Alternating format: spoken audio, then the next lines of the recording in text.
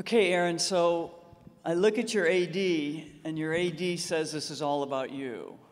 I talk to you, and you say this is all about your players.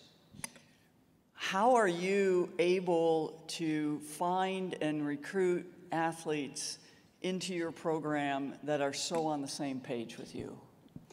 Well, I think honestly, it, it kind of is a tribute to our sophomore class. Uh, I think we've just, uh, you know, I really can't take any ownership of it. I have a phenomenal assistant who does a great job recruiting, and we're able to, I guess, pull the athletes that buy in and um, are part of our family that, that we can love on and, and, and watch them grow. And how do you build culture? How do you get that done with just two years to work with kids? I think I have had some really good mentors um, that have really shown me that there's a lot more to coaching than just obviously the volleyball side. And uh, I think I've been part of programs like that and I've been mentored by people like that that I've been able to take some of those qualities and, and put it towards what I believe and, and what I think that is the best thing for my program. Congratulations to you. Thank you very much. Appreciate it.